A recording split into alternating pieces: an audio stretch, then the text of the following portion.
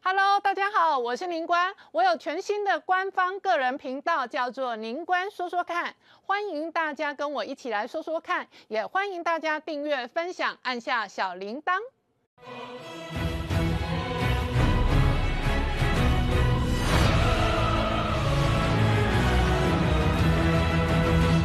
年代向前看，向前看年代。大家好，我是林官，欢迎我们忠实观众跟粉丝朋友扫描 QR Code 订阅《年代向前看》YouTube 官方频道。我们看大选进入倒数五十一天，今天一早，肖美琴国际记者会上面强调，美中现在最大公约数是维持台海和平，而这一个赖清德下了军令，要求总统要冲高票，而且立委要拼过半。同时呢，黄志贤在脸书发文说，蓝白到底如何弃保，还在大。战，但是兰宁还没有意识到肖美琴可能带来的威力。但是呢，蓝白今天的弃保战演到这个嗨雅饭店，而且据说要包饭店、包房间，然后要等人一起住。所以到底谁是战犯？今天晚上三个是不是要三批住？然后同时哦，呃，这个双方在攻防的同时，马办跟郭办哦，在哪里开会都瞧不拢。所以外界哦，在观察的是这个如果。在马半桥，那马就是新的共主；如果在郭半桥，郭就是菲律新的最大汤口。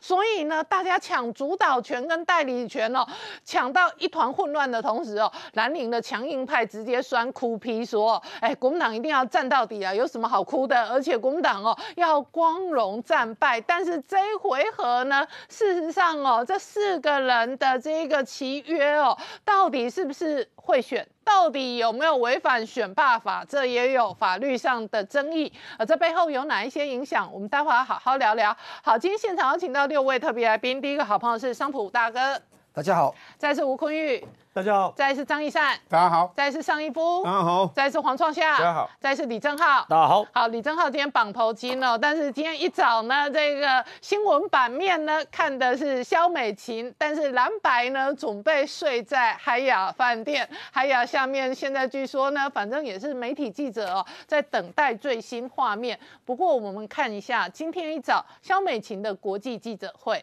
I must say that in this new role that I play.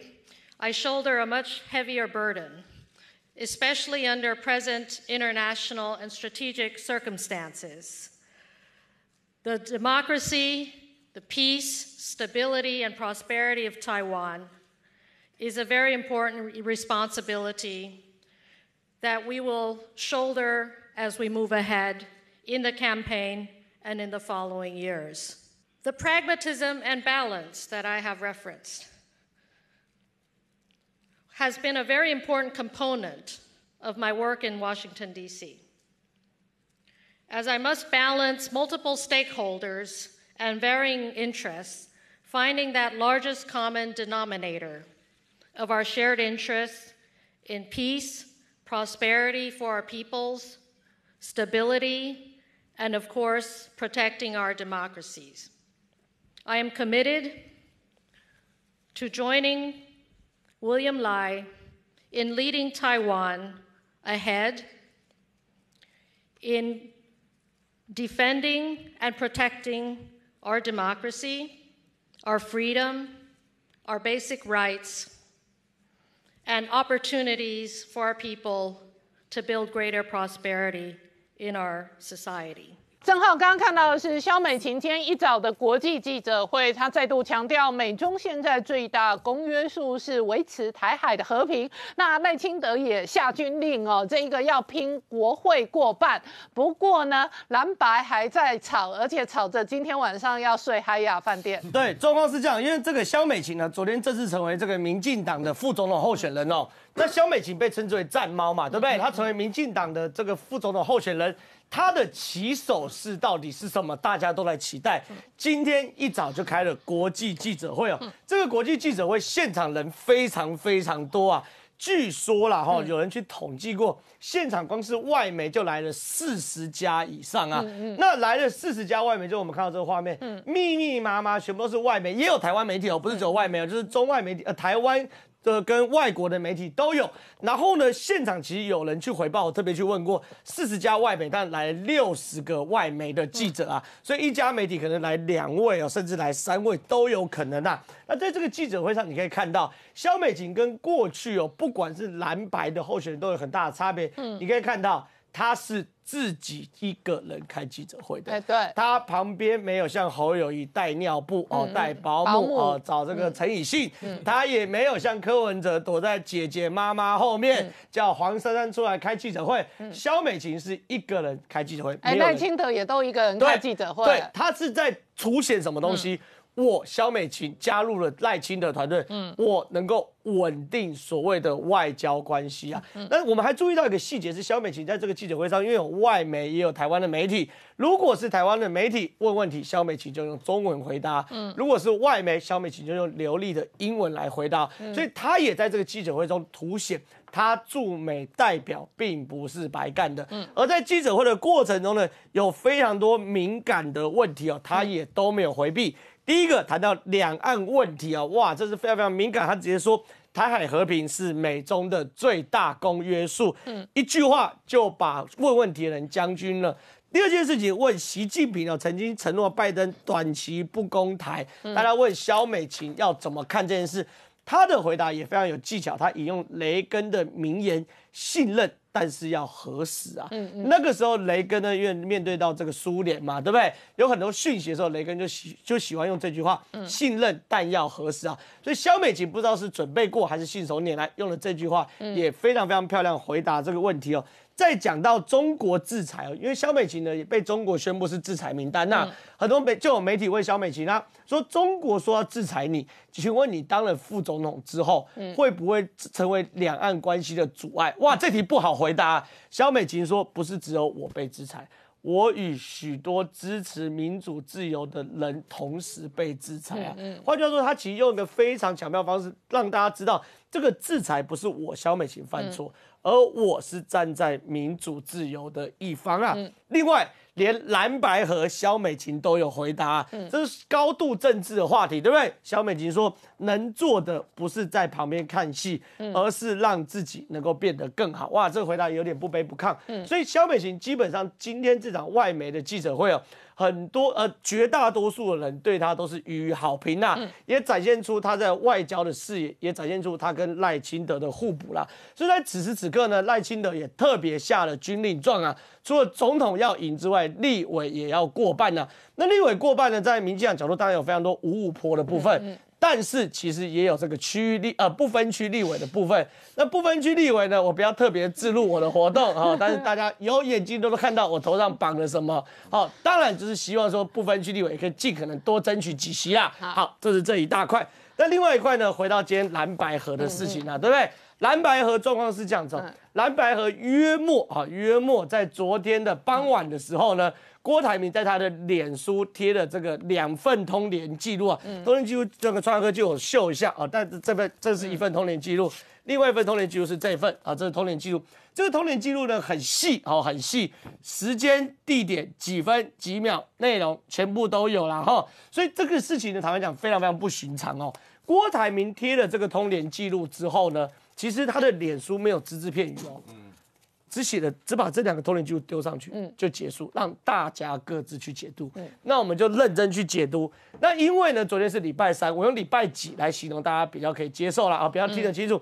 这个通联记录呢，首先先揭露了礼拜二晚上郭台铭跟柯文哲的互动。郭台铭那个时候在晚上时候跟在柯文哲吃晚餐，吃晚餐的时候，侯友谊就急急忙忙打电话过来。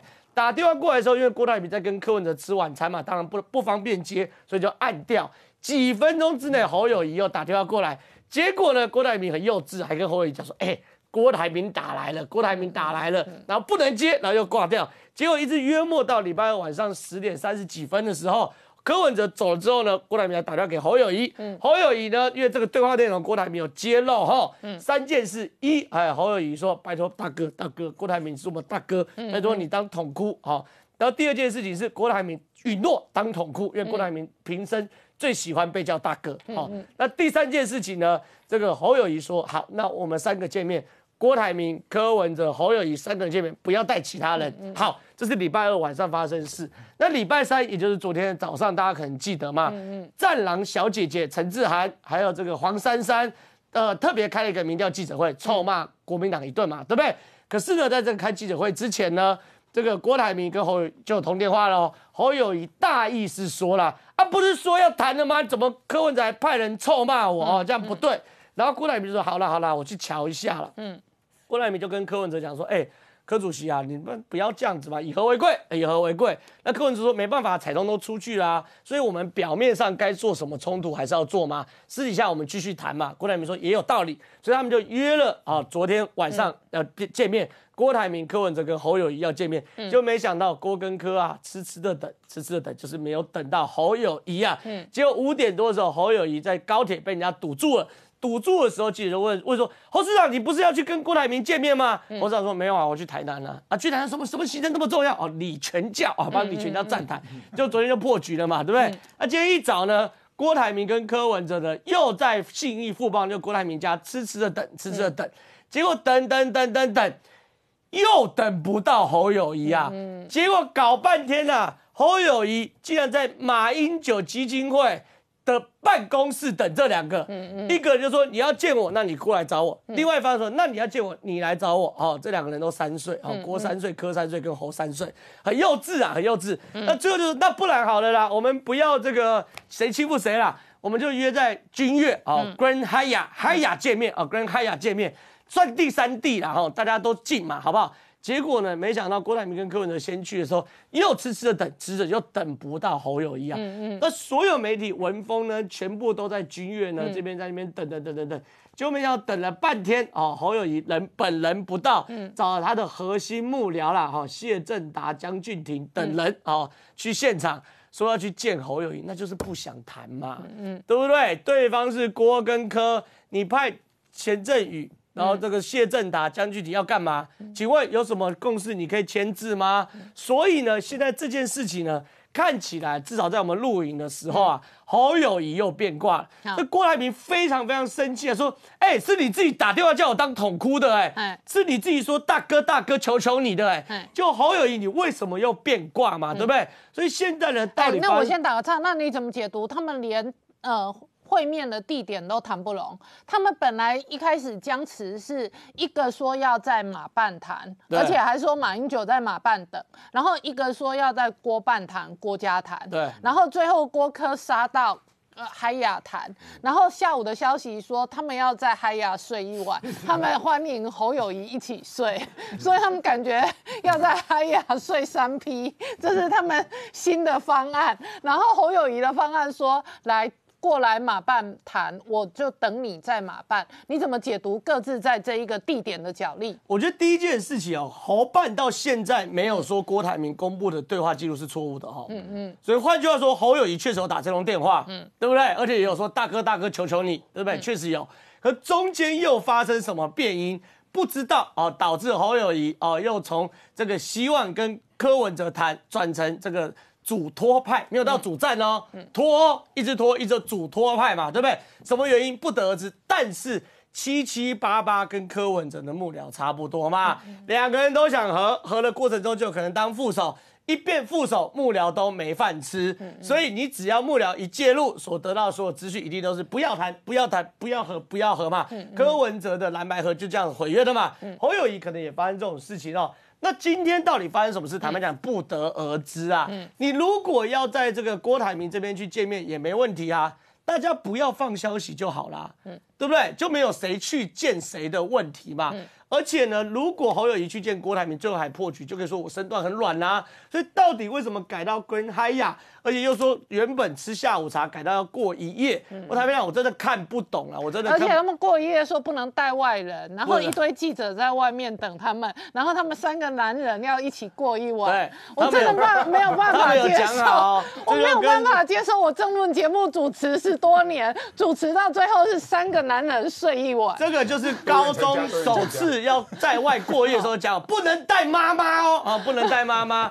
对对不对？那怕柯文哲带妈妈嘛，那妈妈会坏事嘛。那柯文哲说，那你我不能带妈，那你不能带爸爸哦。他爸爸是金辅聪嘛，对，侯友谊爸爸嘛，因为爸妈来就坏事嘛，对不对？你要百年好合就不能有爸爸跟妈妈嘛，对不对？所以他们今天有没有蓝白合？但没有合成，也算是聪明呐哈。因为今天有抢救王一川大作战嘛，算是流量怪物哦，盖盖平哦。他们如果蓝白合今天会没新闻，所以就拖到明天，拖到明天。但明天到底会不会合呢？坦白讲，不知道，嗯，不知道。嗯，我评估啦，没有人敢先去地表啦，嗯。谁先地表，谁就是破坏者嘛，对不对？所以最佳所以他要逼我们明天开 live 节目。不要不要不要不要不要，五点五点五点五点。所以明天明天明天最有可能是怎么样呢？四点三十分的时候，柯文哲跟侯友谊到了门口，啊，到了门口。你看我，我看你，谁都不敢先递表，嗯然后互相撑撑撑撑到四点五十九，冲进去啊，表递过去，那就 OK 嘛，对不对？所以他们一定会撑到最后嘛，对不对？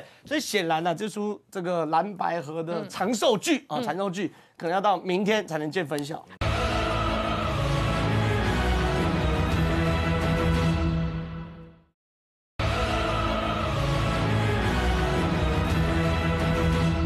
怎么解读？连地点都瞧不拢。其实这个地点瞧不拢的原因是，这是一场蓝白河最后的马宝和妈宝的争夺战。嗯，是马英九的宝贝，还是侯友郭台柯文哲这个妈宝？嗯，现在找到一个黄金统姑。嗯，所以整个人在做最后的一个争夺战。嗯，其实这整个戏哦，你在看起来他们是在做一件事情。嗯，如果破局之后。蓝白将来弃保的制高点，嗯嗯，而这个制高点的争夺战，目前看起来呢是侯友谊呢自己不够勇敢，嗯，自己送了上去之后，把头伸出来给人家扒，所以呢，昨天的时候呢，两方的学者在边讨讨论六趴五点九六趴吵不完的时候呢，郭台铭突然抛了这个对话记录。郭台铭自从跟上次被板坑了以后呢，显然有录音，显然做了很准备，嗯，里面郭台铭第一次。想出了结论，嗯，就已经吃死了侯友谊的豆腐。第一个，郭郭台铭，您是大哥，好啊，大哥，嗯，现在他就变成大哥了。先前的时候不是什么江湖再走，新手要有吗？现在叫我大哥了，嗯，再过来，你是我们两个的老大，哇，又把郭台铭捧了，嗯，然后呢，你是最有声望、最有能力的统姑，嗯，那郭台铭真的很需要，因为他后面呢，其实关键就是我画红线这句话，嗯，我们两个都希望你。不要去登记，嗯，所以郭台铭就在等一个。所以柯红唯一共识就是拜托郭台铭不要登记。对对。就是柯侯其实对于如何分配是没有共识的，但是他们都希望郭台铭不要登记参选，这是唯一共识。那对郭台铭来讲，这不是天上掉下来的礼物吗？嗯，他要做一个转身，你们都拜托我不要登记。嗯，哎，他这个状况，如果他不登记，他可以对那九十万的联署有交代。嗯，但是你们要让我做统估。嗯，可是这个统估里面后面的局呢？就是郭科在结盟了，嗯，而在结盟之后，侯友谊呢现在是被压着打，怎么讲呢？里面郭台铭放出的讯息里面，你是你来拜托我大哥的，嗯，就早上呢，你三你是夺命连环扣给我的，嗯，然后结果呢约好了你不来，嗯，所以呢黄世修还要出来讲说，当时他不太高兴，嗯，哎，这个东西就是在做这个棋出来了，再过来呢就在塑造整个侯友谊是弱弱的，侯友谊想和又不敢和。他其实在塑造这一个制高点，所以后面的时候在讲了。那今天早上本来讲说，哎，我们最后的结论，柯文哲约三方嘛，嗯，那但是昨天没有约，一天早上就说有约啦。柯文哲约在哪里？约在郭台铭家里，嗯，那个主导权就是郭爸爸家里，嗯，郭才是真正的一个公亲。那这个公亲是在郭，那侯友谊如果去的话，那不是被压着打吗？嗯，所以侯友谊就跑去了马办。但是后面奇特的就是那些脸书，等下会细节讲脸书。脸书那个时候，柯文哲突然讲说郭台铭是我们的战友。嗯，而这个战友，我在看的时候就跳出来的时候，不到二十分钟，黄世修就按赞。嗯，那是什么意思？嗯，郭柯其实对这个脸书有共识，OK，有默契嘛。但是战友并没有说谁正谁负哦，就是他们会结合嘛。嗯，那战友后面我们会等等下我会解释什么叫战友。嗯，再过来呢？所以侯友谊那边被压着，就说我跟马英九在马办等你哦。嗯，哎，结果都不回应。嗯，那不回应之后，但是侯友谊里面也有个没干，你不是打电话给郭台铭请你当统姑吗？嗯，但是最早出来的时候是等柯文哲，没有马英九。嗯，那没没有柯没有郭台铭，结果郭台铭再发脸书，嗯，说真跟柯文哲聊得很高兴。嗯，然后接下来呢，柯文哲就贴出来了，我们在军院等你哦，侯友谊。嗯，所以你看他们两个人是在结盟在一起，就是在如果不能和侯友谊你是战犯，嗯，将来弃保的制高点是在他们这边，他塑造这个状况。然后侯友谊呢，只能抱着马英九，因为郭科绝对不会去马英九那边嘛，那是马英九的主场，到时候被马英九压着骂。但是现在是郭爸爸当黄金统姑，对不对？还可以包下所有的军乐，搞不好今天晚上。把一零大楼最顶楼，他们就可以共同赏我跟你讲，你看今天一大堆记者，然后这些记者如果要陪他们玩过今天晚上过夜，还要玩到明天中午的话，郭台铭真的要把整个饭店哦打包下来给记者照顾一下。那你看这些记者多辛苦啊，然后陪你们玩，然后你们事实上今天也不会决定，你们何必浪费这么多社会资源呢？而且这些记者难道让他们在海雅外头打地铺吗？那怎么 OK？这像话吗？郭台铭，你说像话吗？所以他包饭店才才像话。他对他来讲是小钱嘛，本来就想说要罚八千八百亿了，现在只罚八点八万，对不对？钱有很多嘛，小钱呐。但是后面其实你知道这个局再走下去是走什么局？嗯，就是因为这个情况之下，如果合了，郭台铭是公亲，好好，哎，那就是郭台铭抢了马英九。好，这个公卿的这个位置了，所以这是代理权战争嘛？对，就郭台铭汤扣和了，郭台铭就是菲律最大汤扣最大共主嘛。对，那马英九就废了嘛。对，那将来可能就改成郭爷爷回中国握手的嘛。郭爷爷您回来了，您终于又回来了。因为马英九本来要当菲律最大共主、最大总代理嘛，那总代理这一次没有执行任务达成的话，那他的代理权就可能被郭台铭抢走嘛。对啊，所以武汉的税务局搞不好还会跟他讲说啊，郭董啊，对不起啊。我们弄错了，八点八万还给你，都有可能。武汉就会办郭爷爷，您回来了，您终于回来了。另外一个是，如果分了以后，那今天他们也讲了嘛，为什么叫战友？嗯，战友的意思就是，好吧，那就明天中午十二点，嗯，各自登记。嗯，那这可是责任不是我嘛？嗯，但是不是我之后，郭台铭会继续选。那郭台铭他有九十万的联署，大概有五趴到七趴的票。OK，他选下去有一个用处，把他们 hold 住。OK，不会跑。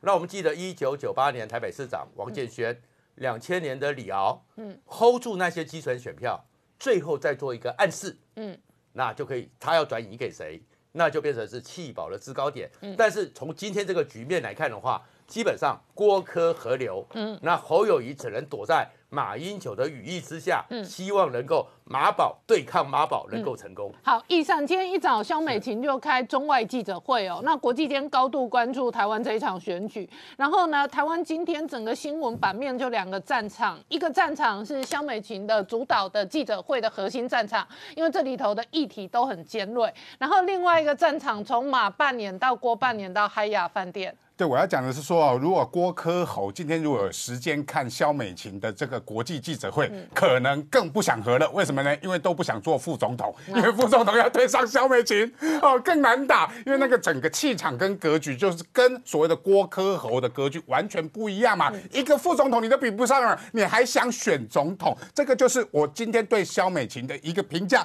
为什么呢？因为肖美琴这个是四年里面，其实她透过国际关系，让所有全世界关注到台海。议题才在 APEC 会议里面，习近平说没有所谓攻台计划嘛。一方面是在国防上面，我们包含浅见国造，他没有必胜的把握。再来就是说，如果他打台湾，在在中海呃在台海闹事的话，会备受国际的压力跟谴责嘛。所以这个是肖美琴这四年里面它的最大的一个作用，就是让全世界关注到台海的议题，让习近平不敢轻易动武。这个当然是肖美琴这个必须做出。啊，所谓赖萧配为什么大家这么关注、这么重视的一个原因嘛？但是中共知道了，如果让民进党赖萧配继续执政的话，他未来八年他可能攻台计划会不断的往后延，所以他必须所谓的打台湾不如买台湾，那买台湾就必须要有人卖啊。卖的人是谁？就是他要介入台湾这次的总统大选，介入蓝白河去瞧出这个总统未来的这个代台湾代理人嘛？这个台湾代理人会是谁？所以他郭台铭为什么八万八？我就开玩笑说，红海一张股票从九十四块最低点买，现在今天一百零二块，就八万八了，一张股票就折了。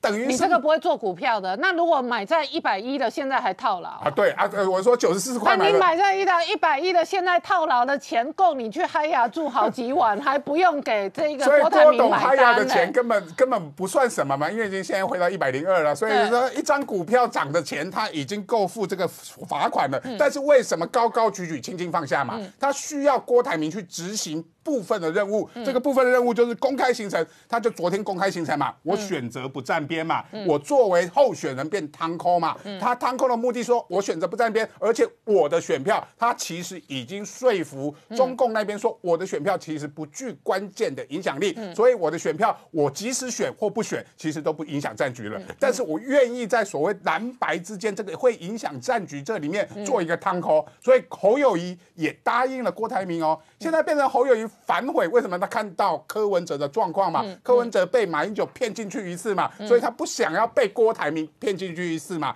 所以他今天选择站在马英九那边，那郭台铭、柯文哲选择跟郭台铭站在一起嘛。但是这个破局的责任到底，我觉得不是哎，我先打个岔。刚刚最新消息，侯友谊跟马英九都要4点去哈亚了，四点半要去嗨哦亚，然后郭台铭用了倒数计时器哈。但是也要讲，就是说，在哈亚之前，郭台铭跟柯文哲其实已经站在一队了。也就是说，他们如果今天晚上没有谈出来，他们希望把破局的责任就推给你国民党嘛。对未来我柯文哲跟郭台铭跟中共的关系不会因此而打坏嘛，这个才是关键的。他们要在那个习近平的小本本里面不要被打叉嘛。所以柯文哲先讲话了，说我跟郭台铭已经站在同一队了。这个是一个小时，在比柯，接下来郭台铭就跟。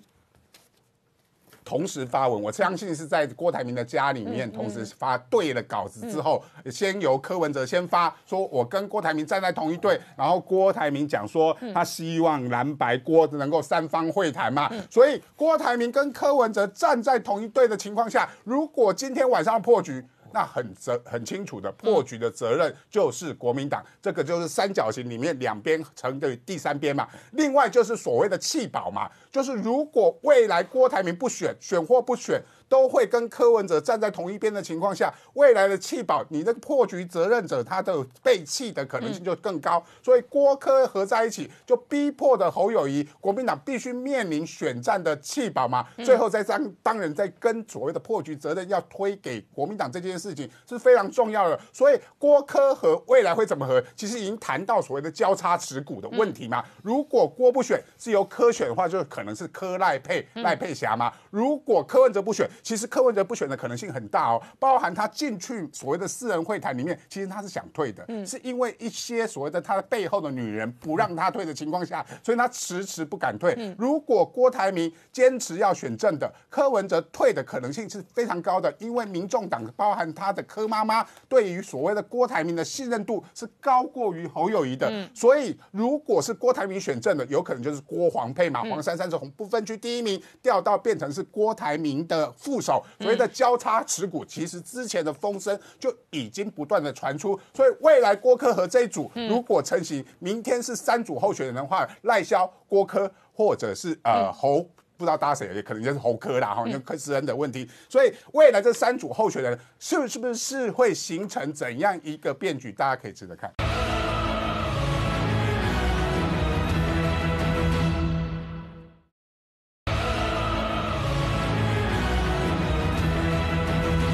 普怎么观察？今天最新的发展？侯友谊、马英九也要杀去嗨雅了，所以四个男人睡嗨雅哦。哦，哦，这个是。惨不忍睹啊！那你看到这个情况，我我跟你讲，四批很容易又二比二哦。他们当时民调，他们应该再加，他们必须再加一批，不然的话这样会吵不完。对对对，我觉得说这个，我跟你讲，不是蒋万安就朱立伦。还好他们没有去神旺，神旺已经倒闭了啊，那所以他们去那个俊岳啊。嗯，那我们到这个地方看到未来会怎么发展啊？我觉得到明天大家买单结算哦，我觉得当然科侯合不起来啊，我觉得是肯定的。合的话掉票对共产党不利，对他们两个都不利。嗯，所以现在的情况，我觉得说科郭会某一种程度上会合流。嗯，郭是一个活棋，如果我是中共，我宁愿他不跟科合。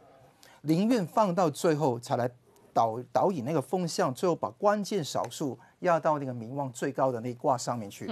所以我觉得最后他们三个都会各自登记，机会很大。嗯，当然我不排除柯郭或者柯霞会合合在一起，但我觉得现在事先要打这个先手棋其实不必了。刚刚呃一瞻讲到这个问题啊，你看到柯文哲跟郭台铭讲到那个贴文里面讲到几句重要的话，嗯，他说台湾需要郭台铭，呃，柯文哲已经正式邀请郭台铭慎重考虑为在野整合跨出重要的一步，嗯，没有讲重要的一步是什么，是退选呢，还是要柯郭和？嗯，那另外说期待一起在队伍里面光荣前行，邀请侯友谊一起参与，共同奉献，义无反顾。嗯，所以你看这一篇文的目的只有一个，就是站在未来在 Plan B 第二回合弃保大战的开始那个时候，抢抢夺主导权，下好先手棋。嗯，这个才是他们真正的目的。中共到现在没有押宝。我看中共历史跟中共在香港历史有两个故事可以给大家跟大家讲。现在就是柯文哲的心法是怎么演的。第一个，中共在一九三零年代打那个井冈山的时候，看到共产国际在照顾那个中共嘛。嗯。毛泽东当时打人太狠，嗯，最后呢被那个史大林把他斯大林把他弄下来。当时有三人团，就是李德、周恩来等等，就当道留宿派的。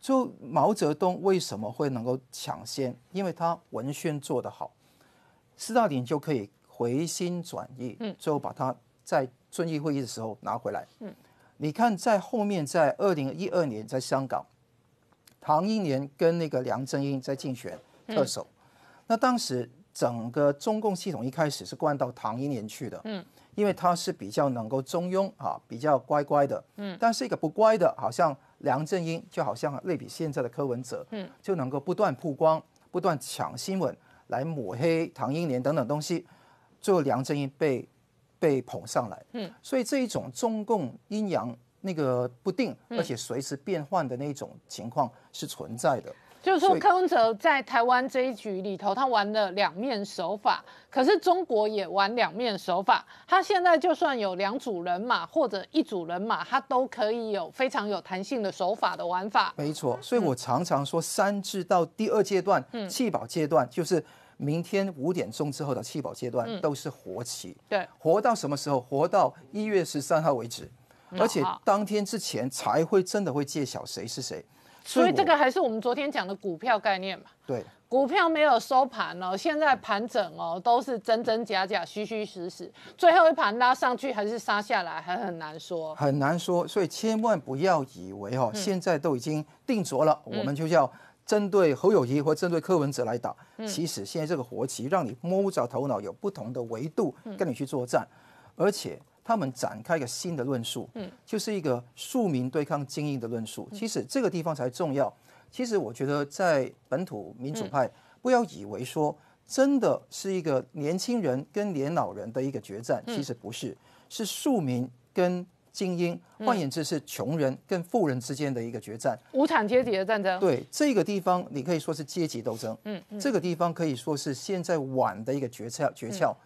民进党现在执政八年了，难以洗脱掉他是那个既得利益者嘛，所以他怎么样能够在政策上、文宣上把庶民这一块顾起来，这个很重要。嗯，另外一个中国因素，但中国因素有点疲惫，嗯，因为现在这个打这个东西很难产生动力，嗯，所以这两个东西有引擎可以打，但这两条线线索线索不好好抓住的话，我觉得赖清德后面的话就很难去突破那个天花板。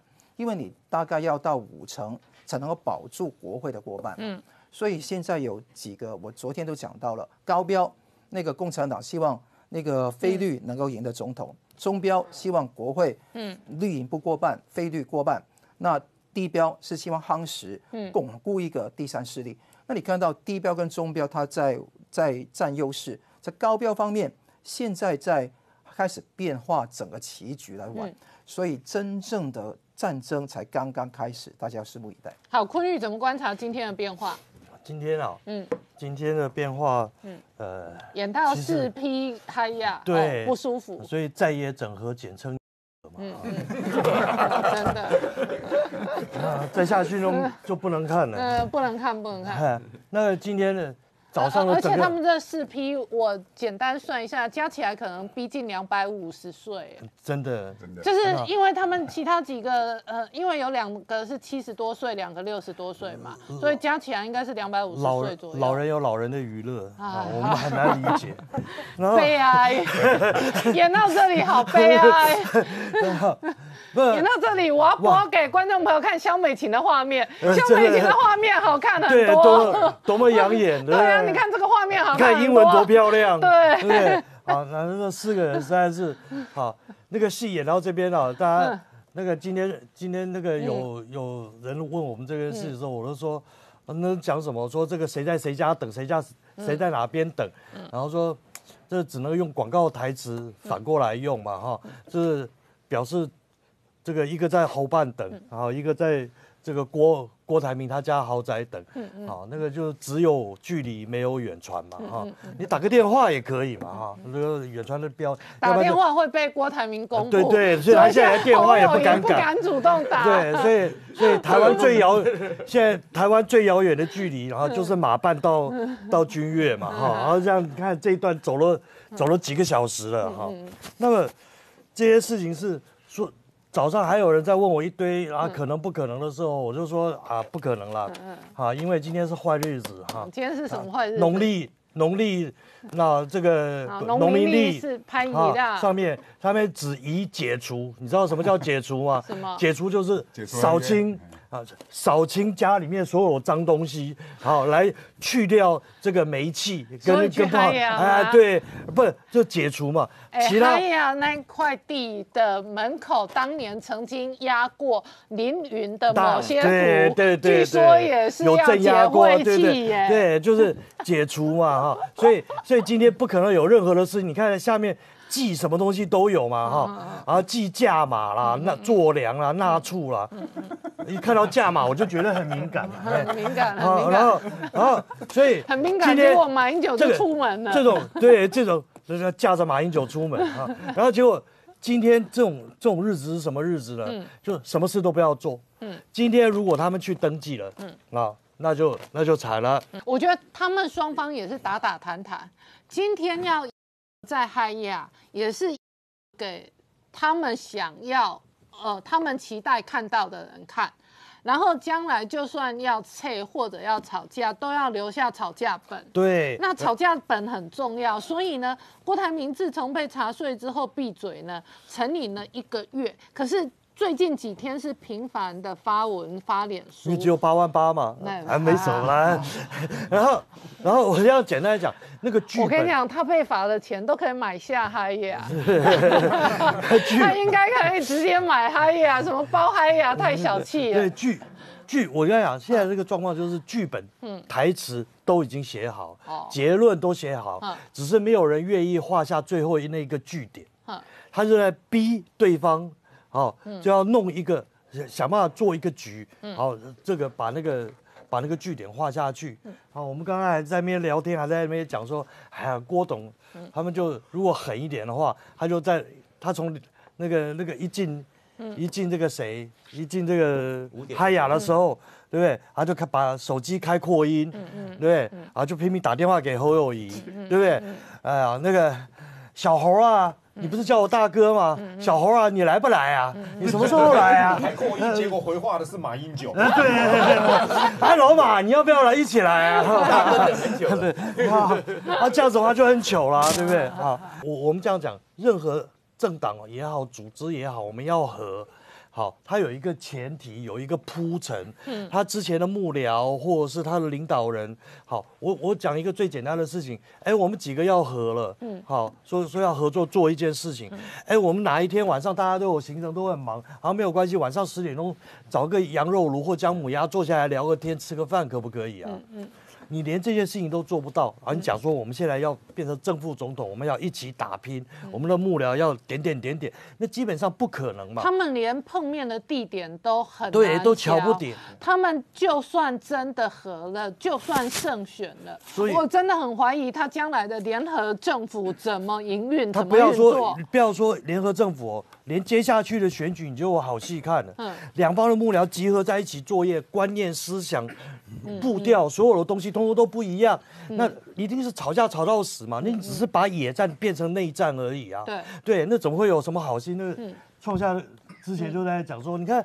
那个时候国清河的时候，他就今天去问国民党一个人，然后等一下转头就去问亲民党一个人，对这样子今天新闻就有了。对好，他那还那还不是说双方对干哦，只是双方的逻辑跟有些讲话不太同调，然后他们就有这个这个媒体就有就有新闻可以做。那你想想看，这两个老这个你说。大家在国民党拼命在骂黄珊珊主战派，好像是什么历史罪人？请问国民党里面没有历史罪人吗？嗯，啊，没有主战派吗？嗯，对，都有嘛。好，你这个双方都没有摆平，都没有处理好，结果你就想要想要这个和。不可能了，要不然你现在照现在这个状况，跟双方的恶感，好和各方面坚持的那些莫名其妙的事情，好，根本就没有一个协议的味道或妥协的空间。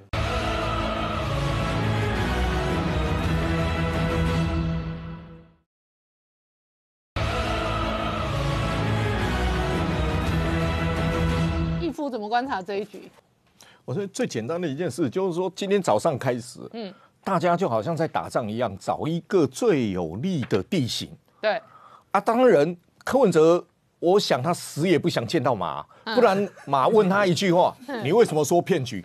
你为什么说契约会选？对。哎，他见证人呢哎，前总统哎，而且有然后录见证见证骗局，见证契约会选，这还得了？如果啊，啊那马先问他说：“你先解释这个，你先十五号那个，你你你在开南大学讲的话，先解释一下。”嗯。如果柯在那边说啊没有啦，没没没没有什么，马如果出来刁他一下，嗯，那柯也很难看哎、嗯，所以侯在马办那边等，我相信柯抵死不从，绝对不想去马办。嗯，那开玩笑，侯怎么愿意去郭家？嗯，去郭家以后二打一，看地形也不利啊。对，对，我也不想去啊，所以两边僵在那边啦、哎，去那边二打一是吧？二对二，对呀、两百五十岁的对决，侯跟马搞不好在里面骂那个柯文哲啊，柯文哲跟郭台铭在里面骂侯友谊啊。我觉得你走到走到这样子的时候，当他寻求地形最有利的，就我要我要用我的所有的战备状况的时候，我要发挥最大的火力，我要取得最大的战果嘛。一个战果就是什么？要么谁当正谁当神，我我赢了；要么是什么？破局的责任谁来担？对就像大家讲的，后面弃保谁的理由借口比较大嘛？哈、那也是一个战果嘛。如果说责就责责任在对方比较大的话，我搞弃保我好弄嘛。哦所以简单就走来走去就走这么一回事嘛。郭台铭，我我就讲说，哎，罚八万八以后，郭台铭好像活过来了，嗯嗯，因为活过来，但不要忘记哦，只有一个武汉市罚你八万八，还有其他的地方啊，郑州什么还还还有很多的地方，所以他今天演的很认真啊他今天没有在加税，宁愿税嗨呀。税的问题，哎，只看到小罚一个台币八万多块，哎，土地的问题也要查，也还没有结果呢。所以他要乖啊乖对啊对啊很认真到明年呐、啊，所以啊，所以啊，就是说。他八万八的时候，你一面是说我让你喘口气嘛，哈，你要做什么自己看着办吧。后面还有土地，还有郑州，还有其他各地方的各地方的税，还可还是可以查。而且八万八就是说你在中国，我让你压力少一点，抖内少一点；你在台湾抖内就要多一点，好，就就这个意思嘛。我本来要想要罚你一千亿的，现在八万八，你有九百九十九十一亿多，的好好额度在的运用，台湾，对，好好的运用，人家说这样，在台湾好好的运用好好抖内台所以湾。所以你看得出来，就是说，哎，如果说郭台铭真的促成了蓝白河，其实他是最好交代的华丽转身呢，他可以不选呢，对他是最好的华丽转身了。所以他很愿意啊，他昨天才会剖那一些资讯啊，而且他那一些资讯哦，泄露了其中一个科侯我阅读到的最大共识，就是科侯都希望他不要登记参选，当然啦、哈，对吗？当然啦、那对嘛？那所以他一定要坚持在他的地盘嘛，因为他要下台阶啊，啊而且他还要代理权啊，他代理权也没有要让马英九啊。现在马英九，马英九要过去了，代理权均享是不是？哦，我们说，哎，代理权大家产品分一下，你代理什么，我代理什么好了。现在呃所以这样二对二会不好分嘛，所以我才说朱立伦或蒋万安可能要进场，没有，那那那 这样要表决跟分的时候比较那容易处理柯。文哲就不要啦。嗯，对，柯文哲就不要啦。那空着可以不要啊可以不要啊。对对啊，就破局嘛。啊，破局也没关系啊。然后就很现在搞得很奇怪，就是好像郭台铭取代了取代了朱立伦的那一个位置，还不是角色哦。嗯，好，那个位置哦，那角色当然会不一样啊，角色会不一样。那现阶段走到这里，其实回过头来，呃就录影前我们都在问，现阶段是谁比较急？嗯，谁比较急？嗯。那你可以看得出来，郭台铭什么叫你过来你不过来，我们不过去马办，那妥协，哦，我们去嗨雅，哦，我约嗨雅，那那你们方便过来嘛？那可以看得出来谁相对比较急，好像不是猴比较急耶，嗯，哦，因为我叫你来你不来，你叫我去我不去，结果我不要去你的地方，然后你说好好好，我们换地方，马上说我们换地方来见面，你来吧，嗯，那相对谁比较急？好像感觉是猴哥那边好像比较急啊。我感觉那个柯不柯柯不不比较急哦科比较急。而且我感觉昨天剖那个行程，就是郭很急呀、那郭先开这一枪啊，郭没开这一枪，我都不知道他们热线你和我热的这么热啊，对不对？那就还有一个问题，就是说郭科之间如果蓝白合不了，你认为科跟郭合得了吗？背水一战，战看看啊。无无伤大雅了嘛，对哎不对？再看看啊对郭来说，我努力过，我可以交代的嘛，嗯对对不对？所以你们两边不和，我再去参加登记的话，嗯中国对郭大概压力也没那么大了吧？对对，好，如果这边这边有机会和你还在那边闹，那你中国对你的压力就大了。所以今天他要设这一局，要过这一场啊。啊，然后他过了，开玩笑。过完这一场，郭也是第一重大警报先解除。没有他，如果这一关郭真的促成的话，中共搞不好说，哎，上次你多报了税，我退你一千万。我查税出来说，哦，原来你有多报税，我退你一下，退你一下，哦我还退税嘞，对不哦对？对，能促成我搞不好还退税嘞，哦对不对？所以我就说，郭当然，当然这一局里面只要蓝白不合，其实，嗯，中共对他的压力就相对会小。好。如果有可能和他在闹，那相对压力就会大。好，那你觉得责任跟压力就回到柯文哲身上嘛？哦。就检验科，你的网路哦，这个空气票很多，最后开多少？对啊，然后还有一个检验，嗯。哎、今天如果真的四个人跑去凯悦啊、睡了一晚，嗯。明天早上如果马英九讲的话，对柯很很不客气的，嗯，好，因为他是他是柯要的公见证人哦。嘿嘿嘿，啊，你事后你在你在呃本集团的节目里面讲，哦，那个联合内阁是实验性，我们从来都没有。你看第六点最后两段是我加的，结果最后变成契约贿选，对，你还开价嘛？变成契约贿选。嗯，我觉得检察官先先约一下柯文哲说。嗯，你说清楚到底有没有契约贿选？因为契约贿选是你说的，好，签字是你签的，马英九如果杀这一招的话，弃保战就先开打，柯就先受伤。就有可能。我嗯。我我就认为一件事，柯讲到是骗局，讲到契约贿选的时候，马到今天为止还没有对这些话做反驳哦，哎，马是还哈佛博士，台大法律哦。还没有反驳就等于说你在在你的办公室，你当见证人之下，嗯，契约贿选，他还没讲话，哦。违反选罢法，所以今天有人去控告了嘛？对啊，你看到那个大家都想互相推卸责任，卖力做给中国看这一场戏嘛。嗯七月会选庞氏骗局谁欠的，全部都有。你刚刚讲的名字，谁没有是共犯？每一个都是共犯。如果是的话，那现在都已经按铃申告了。